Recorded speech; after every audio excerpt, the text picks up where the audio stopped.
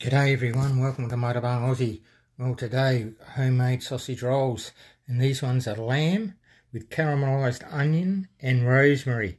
It's garnished on the top there with uh, black sesame seeds. You can see it lovely and golden brown. These will not last long. It's a new video coming up soon. Lamb sausage rolls with caramelised onion and rosemary. Video soon. Check it out please. Cheers everyone from Matabang Aussie.